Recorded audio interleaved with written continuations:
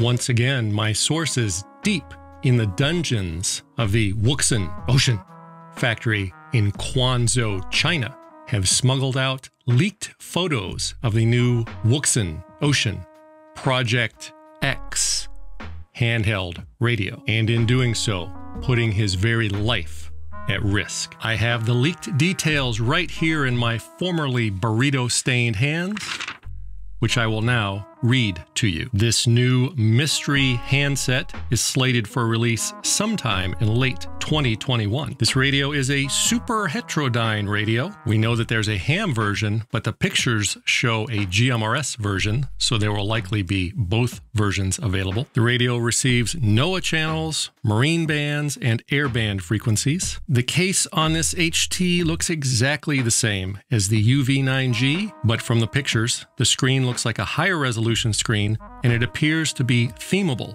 like the new KG935G. The radio has intentionally stiff knobs like the KG905G, so it will be well suited for using in active situations. It has a super bright flashlight and an emergency priority channel jump feature, and it does have the very important Roger beep. Because right on the pictures, we can see that it's custom made for BetterSafeRadio.com. We know that they'll be selling it. So this will obviously be another custom shit hit the fan type radio. That is all the breaking news and information that I have on this new radio. If you have any comments or questions about this new radio, you know what to do.